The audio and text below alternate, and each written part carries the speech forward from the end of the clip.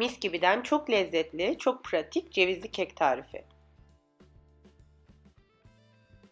Derince bir kasenin içerisine yumurtaları kırıyoruz. Üzerine şekeri ilave ediyoruz. Şeker miktarını biraz azaltabilirsiniz ya da arttırabilirsiniz. Tamamen damak zevkinize kalmış ama bu ideal ölçüdür. Şeker ilave ettikten sonra bir mikserle açık sarı renk alana kadar, iyice karışana kadar e, karıştırıyoruz mikserle. Yaklaşık 2-3 dakika sonra bu ıı, rengi alacaktır karışımınız. Sonra üzerine sıvı yağ ilave ediyoruz. İsterseniz zeytinyağı da koyabilirsiniz. Yoğurt ekliyoruz ama yoğurdun suyundan da koyun lütfen. Yani sulu bir e, yoğurt ilave edin.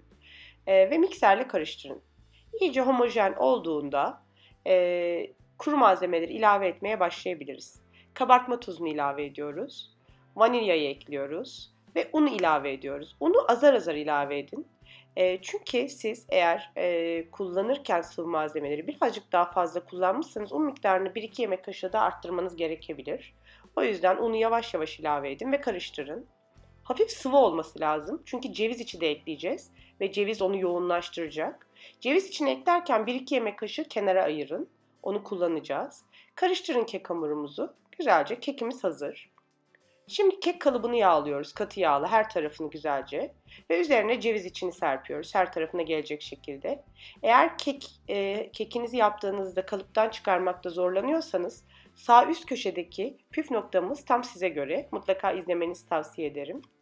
Tüm kek kalıbını kapladıktan sonra kek hamurunu içine boşaltıyoruz. Ve e, önceden ısıtılmış 180 derece fırında Fırına göre değişir ama yaklaşık 30-35 dakika ya da 40 dakika tamamen sizin kendi fırınınızın özelliğine kalmış pişiriyoruz.